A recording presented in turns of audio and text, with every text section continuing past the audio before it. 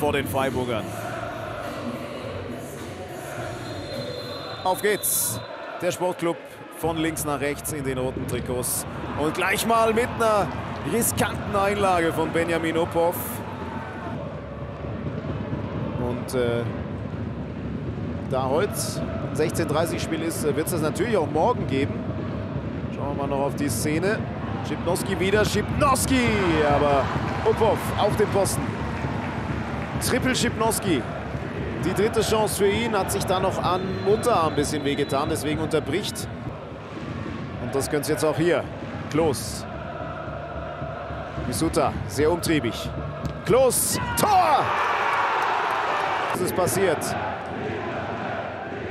Schlechter Ball von Müller. Dann ist es Klos, der selbst einleitet. Mit Misuta. Und der mit dem Überblick.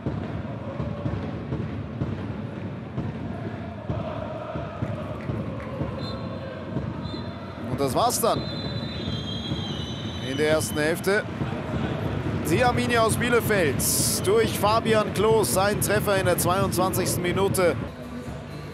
Alle bereit. Dann geht's weiter. Bielefeld jetzt von links nach rechts. In der zweiten Hälfte. Ja, und gleich mal die erste Aktion. Da ist Biancardi. Biancardi! Das hier nochmal raus hinten von Schreck. Entscheidend dann hier dieser Zweikampf und direkt der neue Mann Momolu mit dem Ball. Günther. Ja, auch seine Flanken bislang nicht besonders glücklich.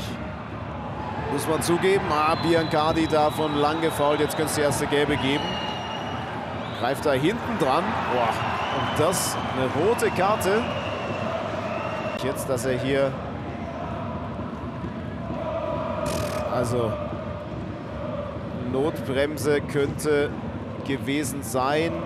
Letzter Mann. Deswegen wohl... Ja, hier sieht man es. Also er wäre frei durch gewesen. Ist jetzt nicht...